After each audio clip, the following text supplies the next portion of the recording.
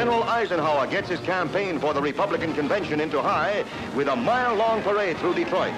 One of his main purposes here is to make a personal bid for Michigan's 46 Republican convention delegates. 40,000 people await him at Cadillac Square. Ike earlier astounded political experts by saying he'll use no more prepared speeches.